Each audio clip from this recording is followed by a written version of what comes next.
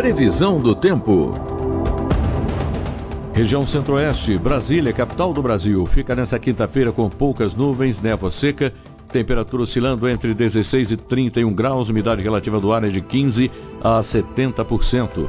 Campo Grande, no Mato Grosso do Sul, festeja aniversário com sol, poucas nuvens e temperatura variando entre 18 e 29 graus, umidade relativa do ar está entre 30 e 70%. Região Norte, Boa Vista em Roraima tem tempo nublado com pancadas de chuva, trovoadas e temperatura em torno de 23 e 31 graus. A umidade relativa do ar varia entre 60 e 95%. O município de Dianópolis, em Tocantins, comemora aniversário com poucas nuvens e névoa seca. Temperatura oscila entre 19 e 36 graus.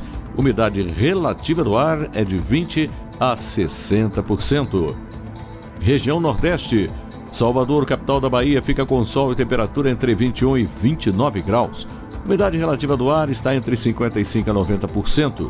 O município de Brejo Santo, no Ceará, faz aniversário com sol, poucas nuvens, temperatura variando entre 16 e 34 graus. Umidade relativa do ar oscila entre 20 a 90%. Região Sul, Porto Alegre, no Rio Grande do Sul, tem nesta quinta-feira tempo encoberto com pancadas de chuva e trovoadas e temperatura entre 13 e 16 graus. A umidade relativa do ar é de 80 a 100%. Navegantes em Santa Catarina está aniversariando com pancadas de chuva e temperatura variando entre 16 e 24 graus. Umidade relativa do ar está entre 70 a 100%. Região Sudeste. São Paulo, capital, fica com sol, poucas nuvens, temperatura mínima de 18, máxima de 34 graus. Umidade relativa do ar é de 15 a 65%.